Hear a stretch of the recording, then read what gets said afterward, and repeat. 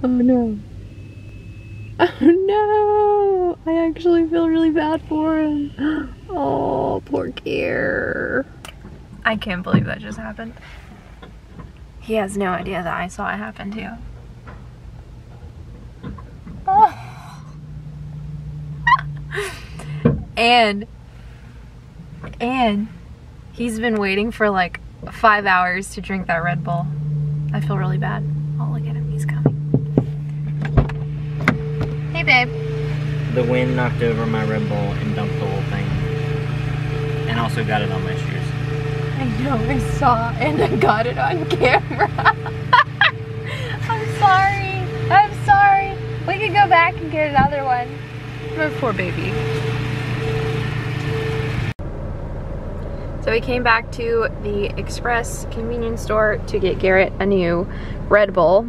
And I am drinking my second coffee of the day. These are so good, these Georgia canned coffees. So it's actually Memorial Day, so Garrett has the day off from class slash work, and I have the day off today, so we are going to go down to Naha and check out the city.